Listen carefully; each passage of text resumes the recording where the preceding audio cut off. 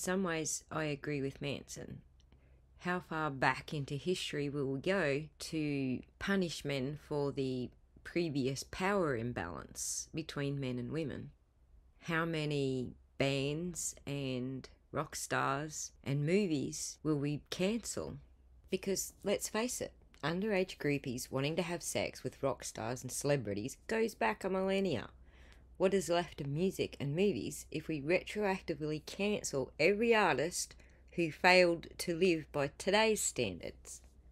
It also makes me wonder what is actually achieved by reversing the power dynamic rather than trying to balance it.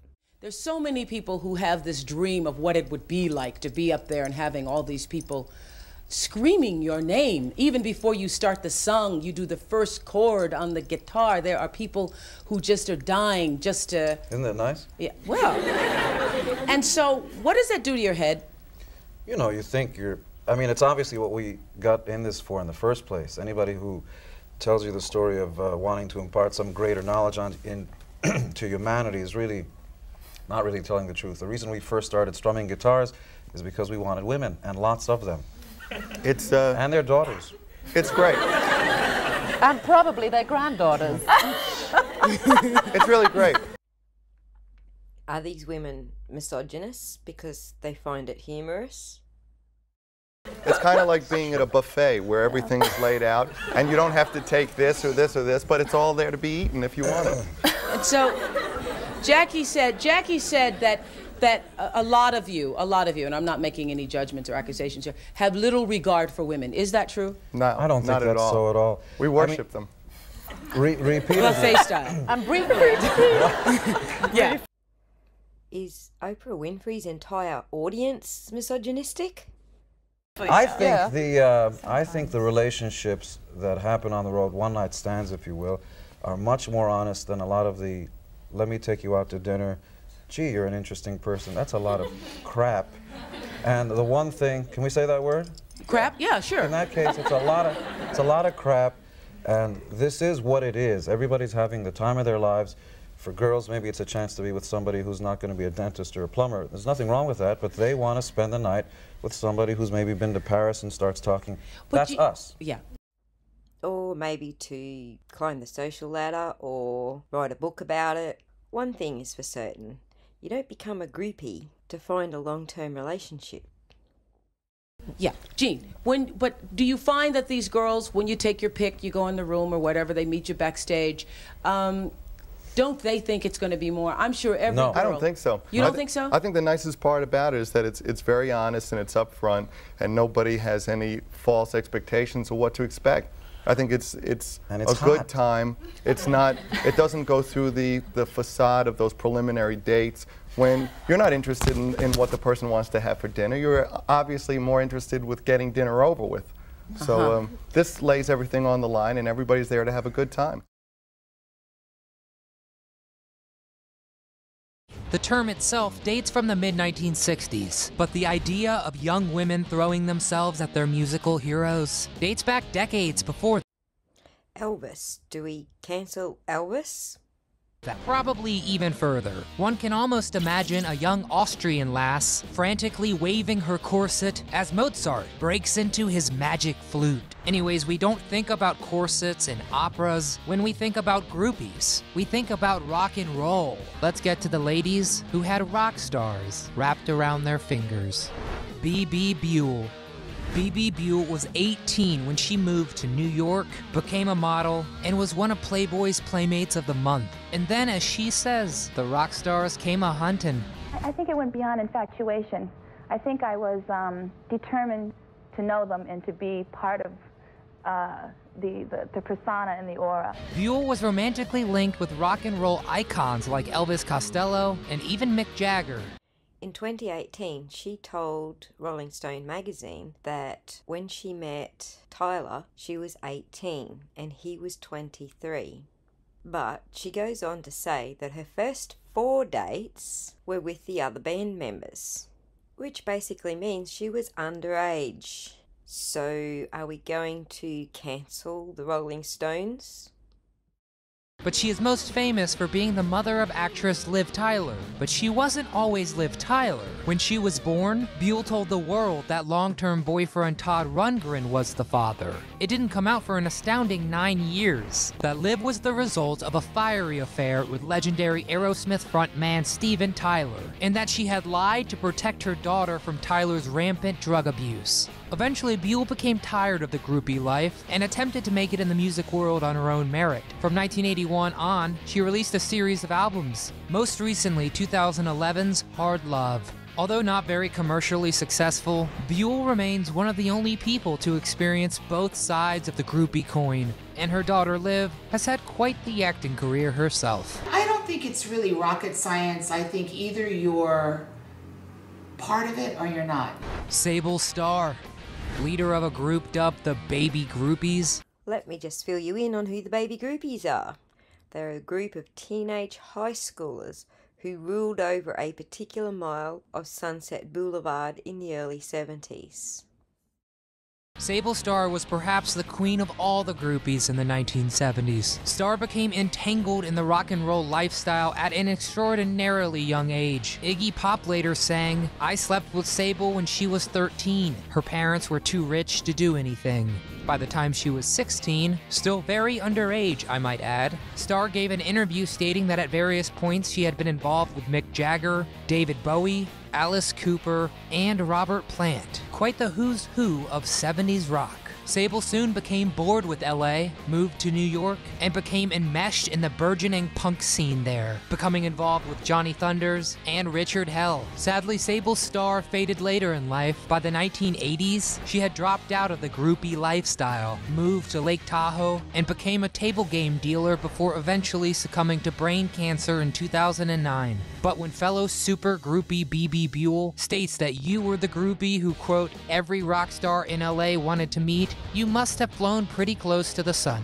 We're starting to get an idea how long this list of cancelable rock stars is getting, aren't we? Anita Pallenberg. Some groupies became famous for making their way through every rock star they could get their hands on. Anita Pallenberg, however, is famous for attracting the attention of one band in particular, the Rolling Stones. In 1965, Pallenberg was a young actress when she became romantically involved with Rolling Stones guitarist Brian Jones. A two year love affair followed, until on a trip to Morocco, Keith Richards witnessed Jones assaulting her. The Stones' other guitarist rescued Pallenberg, whisked her back to England, and began a 13 month relationship with the beautiful blonde. Because, of course, who could resist Keith Richards? However, their romance was not perfect by any means. Pallenberg allegedly slept with Mick Jagger, thereby completing the holy trinity of Rolling Stones. And in 1979, a 17 year old who Pallenberg was having an affair with was shot dead in an apparent suicide while in bed with her. Well, Pallenberg wasn't underage when she slept with all the band members and was abused. She was nearly 40 when she was dating, sleeping with, whatever you call it, a 17 year old. After her relationship with the various Stones ended, Pallenberg continued to act, appearing in made for TV movies until after a lifetime of drug abuse, she died of hepatitis C in 2009. I wasn't aware of oh. anything, it was just casual. Penny Trumbull, Possibly the most famous depiction of a groupie in pop culture is Penny Lane from Cameron Crowe's seminal movie Almost Famous. Her glowing blonde ringlets, massive blue eyes, and chic glam rock style have become synonymous with groupie in modern society. But what if I told you that Penny was almost completely based on a real person? Penny Trumbull moved to LA at 18 and soon fell in love with the rock and roll lifestyle. With four other groupies, she formed the Flying Garter Girls, a group that toured the US immersing themselves in the lives of their favorite bands. Again, these girls were high schoolers, and part of the initiation process of becoming one of the Garter Girls was you had to be in school.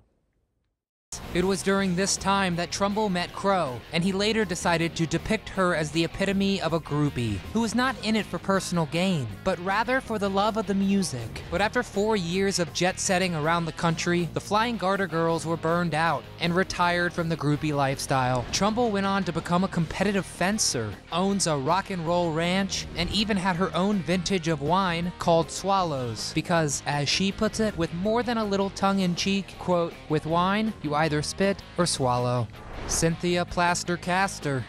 How does a young woman obsessed with rock stars separate herself from the pack of other groupies vying for attention? By making plaster molds of the rock stars' penises, of course. Cynthia Albritton was a young art student when she hit upon the ingenious idea that would make her famous. And amazingly, one of the biggest rock stars in the world agreed to be her first subject. Jimi Hendrix. After capturing the likeness of Hendrix's heat seeking missile in 1968, Cynthia went on to cast musicians from The Kinks, Journey, and The Lovin' Spoonful, among others. All told, she has over a hundred molds of famous rock stars, which begs the question, what does she do with them all? Cynthia's unique talent inspired the songs Plaster Caster by Kiss and Five Short Minutes by Jim Croce, and in 2001, a documentary was made about her exploits in the field of member molding. While perhaps not a groupie in the traditional sense, Cynthia has certainly encountered as many rock and roll rods as anyone on this list. As long as there are talented musicians with appendages, I'll be available for my casting call. Hang about. Let's play role reversal. Let's switch the gender and say a man was going around moulding women's genitalia. Hmm. Sweet Connie Hamzy. Just because you don't live in the glitz and glamour of LA or New York doesn't mean that being a groupie is out of your reach. Just ask sweet Connie Hamzy, who claims to have provided an, uh, oral helping hand to every famous rock star that passed through Little Rock, Arkansas in the 70s and 80s. Her exploits were even documented in the Grand Funk Railroad song, We're an American Band, where, quote, Last night in Little Rock put me in a haze. Sweet Connie doing her act, she had the whole show, and that's a fact. Then in 1984, Connie tried to land the biggest fish of all and approached then Governor Bill Clinton, dropped her bikini top, and asked, What do you think of these? I'm sure Bill didn't mind. Connie has written several tell all books detailing her escapades, and unlike the rest of her groupie peers, she has kept the party rolling. In the early 2000s, she could still be found backstage at shows in Arkansas plying her trade, even though she was well into her 50s. Damn, Connie. Again, reverse the roles. If a man over 50 was hanging out backstage with young female rockers, hmm. Pamela Des Barres. Let's say you want to meet as many rock stars as possible, but don't want to rely on the hit or miss method of hanging around clubs and concerts. What should you do? Become rock star Frank Zappa's nanny, of course. In the 60s and 70s, Pamela Des Barres used this position to meet an exhaustive list of rock gods. She reportedly slept with Keith Moon, Jimmy Page, Graham Parsons, Mick Jagger, Jim Morrison, and Waylon Jennings, among others. Wow. She even was a member of Zappa's all female groupie musical act, the GTOs, which, unsurprisingly, did not succeed. After a failed acting career, Barres wrote two memoirs about her experiences as a groupie I'm with the band and Take Another Little Piece of My Heart, which actress Kate Hudson read to prepare for her iconic role of Penny Lane in the movie Almost Famous. Barres still trades on her notoriety as one of the most famous groupies of all time, even starting her own fashion line called Groupie Couture in 2013. Just by following the exploits of the groupies alone, we would have to cancel at least the top 10 most prolific rock bands of the entire 70s era.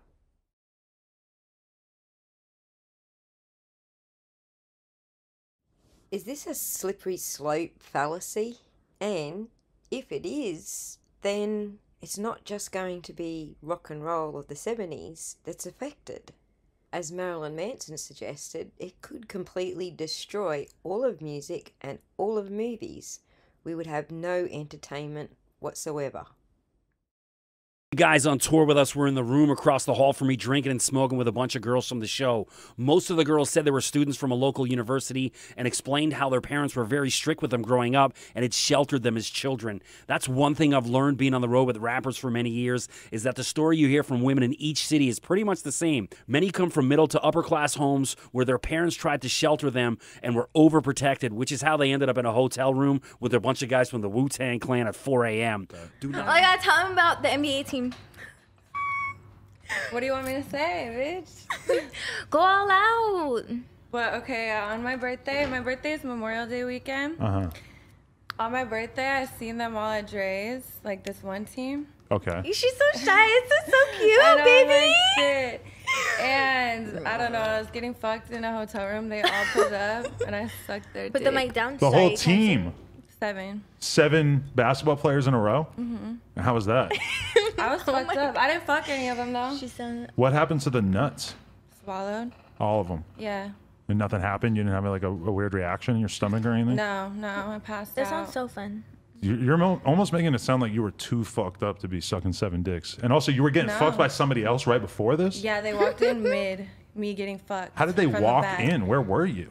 In the hotel room. So I was fucking like someone that works with the team, and I know I know that team because I've hooked up with them before. The but they all pulled up. No, not the whole team. Like a few of them. They all just pulled up. They knew I was in there, and they were like, "Let's get lit," and they were just sitting around the bed, and they just rotated. Wow, Yeah. that's tight. Yo, they all love you.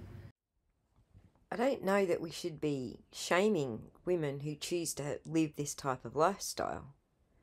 But I do wonder is this girl going to turn around in 20 years' time and decide that what she did and what she admitted to publicly is far too embarrassing to live with and turn around and call it non consensual? And then, on top of that, could this video, this very video, be used against her when she decides to switch paths? Is she going to get away with saying, well, I didn't know that it was abuse at the time, or I was too young to know any better? Joining us tonight, and we begin this hour with some shocking accusations of sexual assault against a rock icon, legend, that allegedly happened decades ago. A woman identified only as Jane Doe has filed a civil lawsuit claiming that Sting raped her back in 1979 when she was just 15 years old. Now, Sting's real name is Gordon Sumner. Him and two of his band members of the police, Andy Summers and Stewart Copeland, are named in this lawsuit. The woman says she met Sting at a record store promotional event in Scottsdale, Arizona, May 14, 1979. She also says she went to the band's concert later, and when Sting saw her, he asked her to sit on his lap while the opening act was performing. Now, according to the lawsuit, after the concert, Sting invited this 15 year old girl to a house party in Phoenix where he kissed her and touched her genitals. She says after the party, she thought they were taking her back to the concert venue, but they drove to the band's hotel across the street. And that's where she says Sting raped her. According to the court documents, Jane Doe says she told Sting at least two times that she was 15 years old. Music icon Bob Dylan being accused of sexually abusing a girl more than 50 years ago. In her lawsuit, the now woman claiming that Dylan sexually abused her when she was 12 years old multiple times over six weeks back in 1965. The suit claims that Dylan established an emotional connection with the girl while giving her drugs and alcohol so the abuse could continue. The woman claims that Dylan's threats of physical violence left her emotionally scarred and physical da- physic- psychologically damaged to this day. Dylan's spokesperson says the 56 year old's claims is untrue and will be vigorously defended. The suit was filed just one day before a New York law extending the statute of limitations for child sexual abuse cases uh, expired. This morning, Morgan Freeman is fighting back, his attorney demanding a retraction from CNN, which first reported eight accusations of sexual harassment against the Oscar winning actor last week.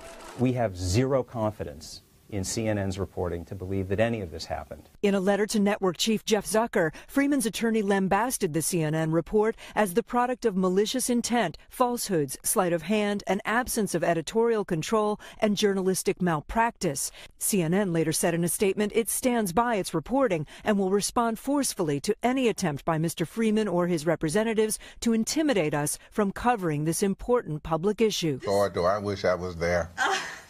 That remark at the center of one allegation from one of the co authors of CNN's report, who says Freeman made that comment about her pregnant body during an interview. Right when I walked into the room, he began to make sexually suggestive comments to me.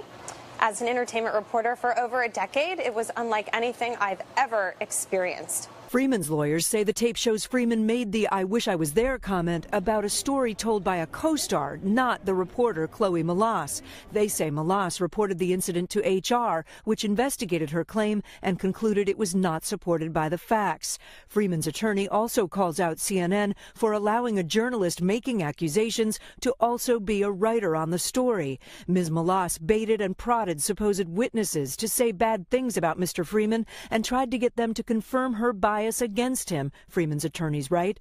The CNN story went beyond the reporter's complaint. Five anonymous accusations came from film sets, press tours, and in the offices of Freeman's own production company. One woman accusing Freeman of trying to lift up her skirt and asking if she was wearing underwear. The attorneys for Freeman say one of the other women named in the CNN report, Tyra Martin, has since said she was not harassed. I'm sorry for anyone that's had an unfortunate experience or feels harassed or um, assaulted. That wasn't my experience with Morgan Freeman.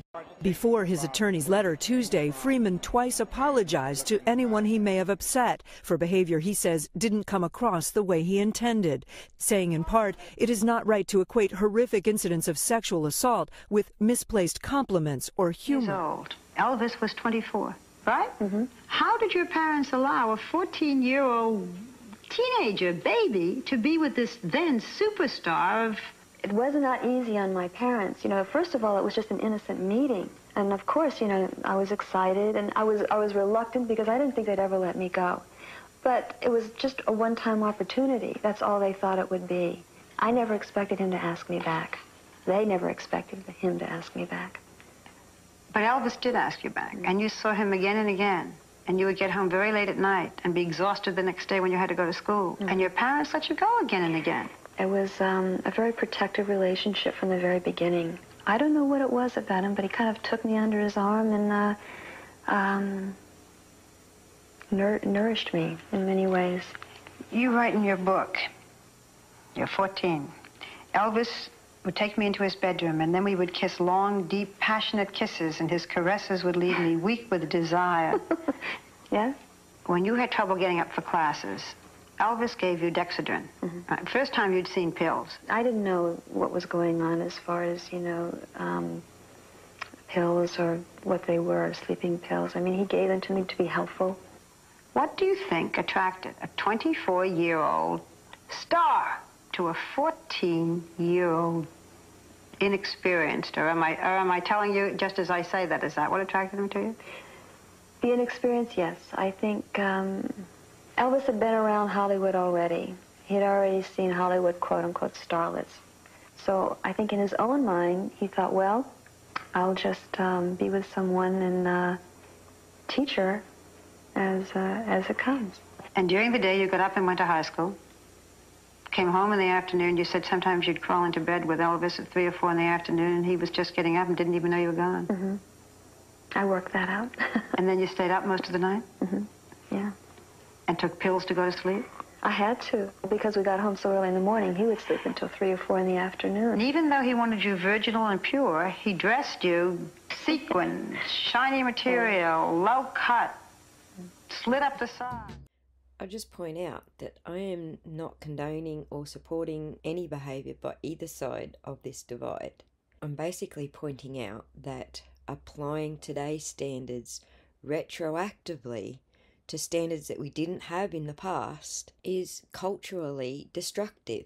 You have no argument from me that there are certain parts of culture that we do need to change. But where I do disagree is this burn it all to the ground approach. It was it's a tough spot to be in, especially if you really do appreciate and want to be a support of of the side that seems the angriest and the anger is mm. being directed at you. And I sort of decided, well, I'll just stay quiet for for you know mostly. I've talked about it a little bit to honor that like okay, this is someone else's experience of this and it is not my experience but i you have to respect that someone else had an experience and take that to heart and allow for it to be as possible as your memory of that experience I, I think on the one hand, it's like a sweeping judgment. Mm-hmm. And on the other hand, there's been a lot of talk about, you know, can we even make these kinds of distinctions between the worst cases and sort of what is perceived as the tamest examples of it? And I think that there's some truth in that, you know, of that, like, it isn't about, oh, well, this isn't so bad and that's really horrible. It's that it is systemic, it is accepted culturally and its tamest manifestation of it and that's worst and that it all needs to be turned on its head eradicated not allowed for. Right. And that kind of like lightning bolt i think is effective. The lesson that i had to sort of learn and, and be humble about was i was the producer. I was technically the boss and having a set uh, that I didn't even know I was on a set. I was making a kind of quote unquote home movie with a friend that grew and grew and grew. There was a ton of partying mm-hmm. because that was the content of this docu at times documentary, at times mockumentary, and it so it was. Yeah, you're recording everything. Recording right? everything. It's not. It's not a clear cut undertaking from the get. It was confusing for everybody, and it was deliberately so, and that's my responsibility. Mm-hmm. The intention was to have the the crew as a part of the movie. I don't know how much they knew they were a part of the movie, and and I had finally I had my dad play Joaquin's father mm-hmm. in the movie. I had, and he didn't really know exactly what was going on, right. and you know, and um, so it, it was a big mess, and it was not something that I would do again. I really wouldn't. I would be way smarter, more sensible, more sensitive to like it being a workplace if I were to, to try to do this again and I think that like y- you can't change the world if you don't let the world change you. Uh, I don't pretend to be changing the world in any way, but I just mean that like you aren't going to change the world's opinion of you. You aren't going to make anything good or put it into the world in a meaningful way if it's you're just set on transmit. You got to be on receive sometimes. Yeah. You got to be open to people saying like, "No, man, you're not hearing us. That was out of control." Is this not a mature approach to the issues at hand? So this came out when the whole announcement that Johnny Depp was going to be the Moon Man for MTV and the VMAs, I believe it is. Yeah, the Video Music Awards. Okay, so let's get into this, but first let's read the actual announcement. Johnny Depp has played many roles, but never a Moon Man. And that's all going to change at the upcoming MTV Video Music Awards with a planned surprise appearance from the movie star. Now, that's that's amazing. We, we all know Johnny Depp's winning. He's been winning. He's going to continue to win. The only thing, man, is that these Amber Heard supporters, I, I the part that pisses me off is that these people are going so hard. They're they're doing they're talking about death threats. They're talking about hoping that he gets in a car crash. You can see it right there. And Twitter is doing nothing about it. Hopefully he gets in a car crash on the way there. Can't wait to see him dead. Why can't he just die? Can't wait for him to fall off the stage, break his neck, and D word forever. See, the part that pisses me off, that gets me upset, okay, is because if Johnny Depp supporters said that, they would be banned instantly. Any any kind of bullshit like that. But because it's Amber Heard supporters, because these people are on that side of the establishment, of the mainstream media, it's okay for them to do this shit. His team is desperate to make Depp relevant again. What? Whatever. N- whatever. Fine. Ugh, not even. Outside courts before the backlash about what he did to Amber starts again. They're running out of time and they know it. What the fuck are you talking about, you fucking moron? Oh, stir Gussa on Twitter. What a fucking idiot. Please protect all young girls before he looks for a new girlfriend to abuse. What do you mean, young girl? She was 24 years old. What are you talking about? Young girls. So now a 24 year old is young? Well, hold on, wait. 2012, because she's 36 or 37 right now. 12 years ago, they were together. It's 2010, 11, right? Something like that. So you're trying to tell me you think a young girl is 24 years old? I mean, and if they were together for a few years, we'll say a few, which is three, that would make her 21 if they met when, you know, at the beginning of a few years, which is three. So, hey, Thurl, uh, what is this? Thurl Wall X Solo, you fucking moron. Please protect young girls. What are you talking about? Why are you saying that as if this has anything to do with pedophilia or anything like that? She's she wasn't young. She was 24. That's not young. And this is another thing.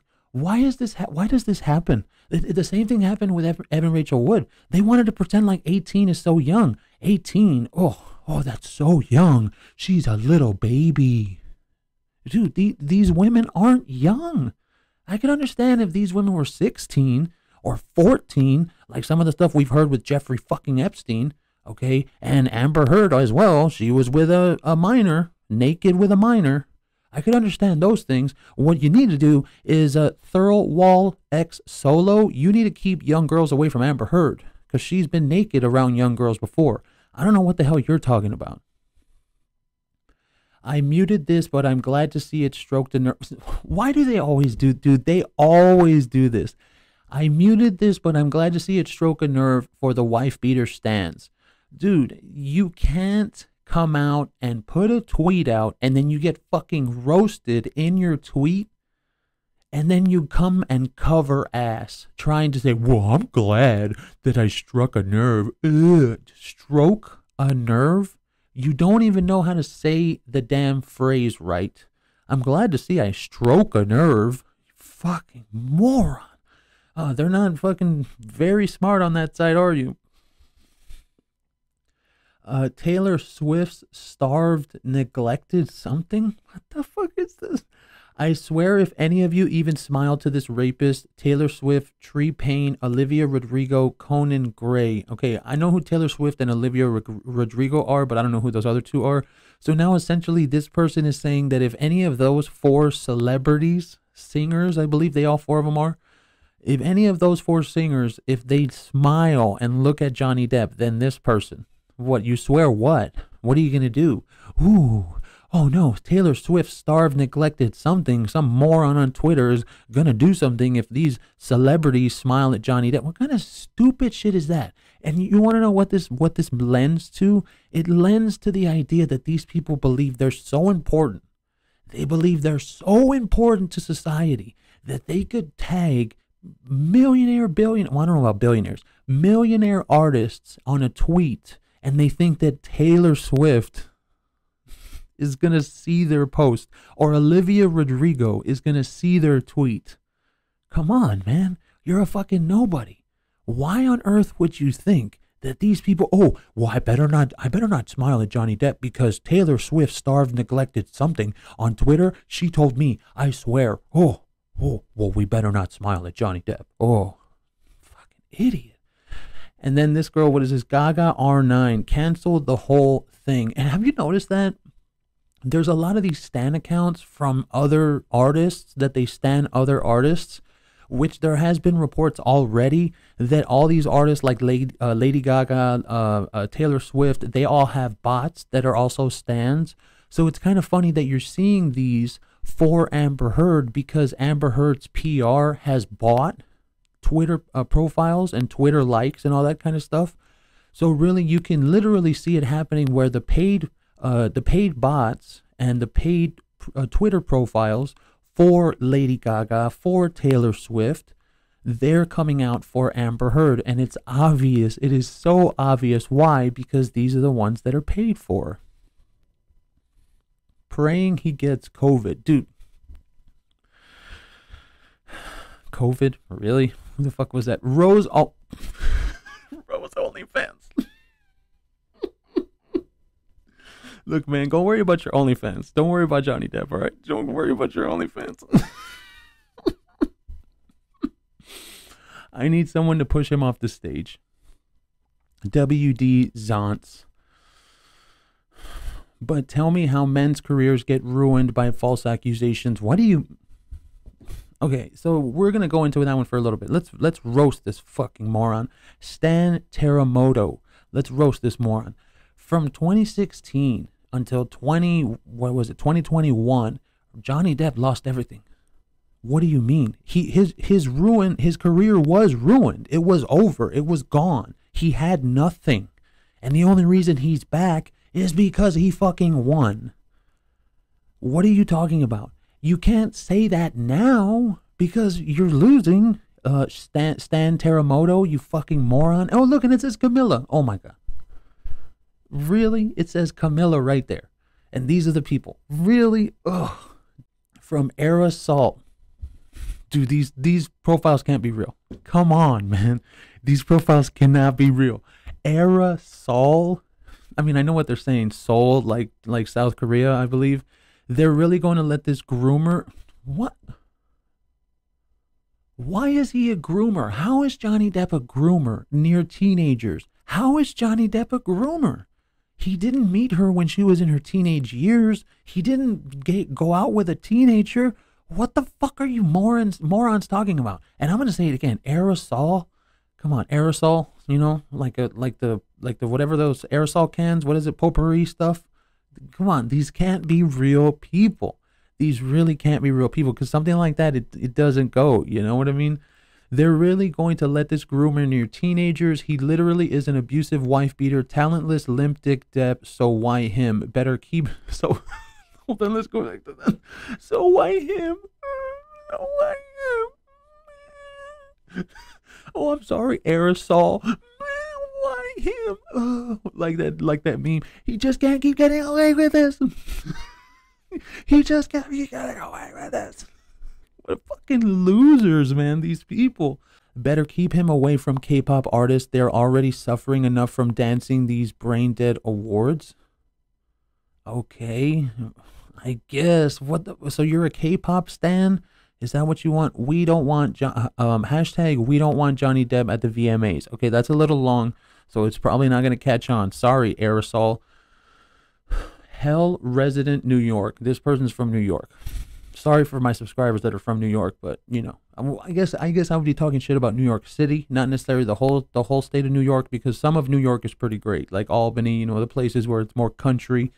I really and truly hope this is some bullshit because if not, then I have to ask how fucking desperate are you for ratings MTV? Okay, now I wanted to show you this because I followed a comment literally on one of Amber Heard's supporters on one of their tweets, okay? And it was from the comment was from this profile. You can see it right there. The name of the profile is Female Dating Strategy Max. okay? There's the name of the profile. Now you have to see, th- this is what we're talking about here. That's the name, but you have to see the content. Only mistake she made was not hitting him more. Should men lie about their height? Oh, should men who lie about their height be charged with rape? Yes, always 80%. What? Lying okay i will admit lying about your height is a bit stupid because i mean i'm a tall dude anyway so why would i lie?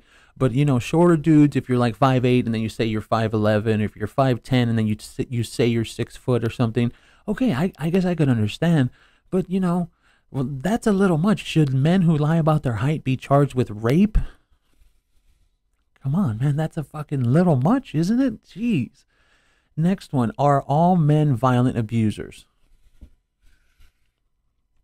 this is the thing that, that Amber Heard supporters, this is what they do. This is this is what they do. Are you serious? And then look, it says uh, out of 20 votes, 40% all of them are, 20%, 95% are abusers. And 90% plus are abusers, 40% of people. Jeez, man. That is complete crap. Everything against Amber Heard was fabricated by the New World Order. what the fuck are you talking about? It is the first stepping stone to their goal to turn women into breeding slaves for the rich during the Great Reset.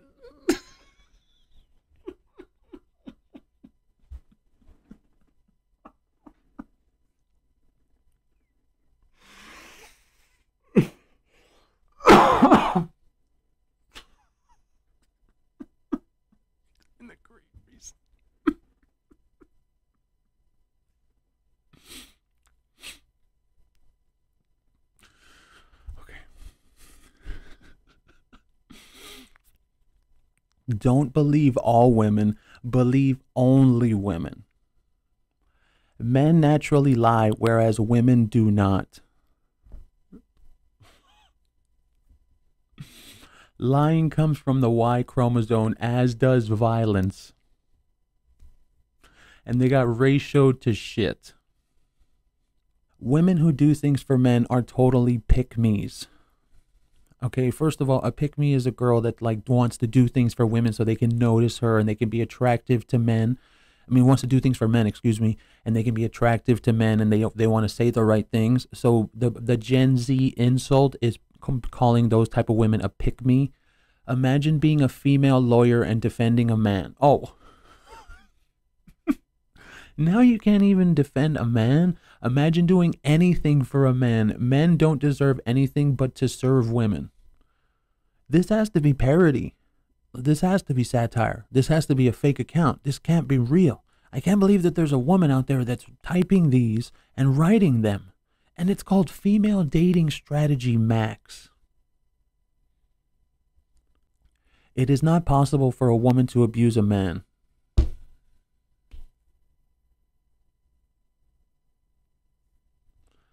Women are never violent nor lie. wow. Holy shit. Violence and lying is a male trait. Again, with that Y chromosome crap. Wow. Queen survey. How much money did your man done give you this month? What? What? A lot of these aren't, they don't have any engagement because they're so fucking stupid. And that's why when I saw them, I was like, oh my God, I have to show my subscribers this because these are too good. Women don't abuse men. They stand up to the patriarchy. Oh my God. Whether that involves physical violence or not doesn't matter women are permitted to be violent against men and they should be. Hashtag me too.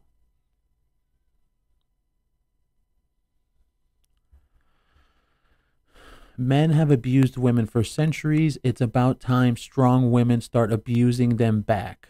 Sorry, not sorry.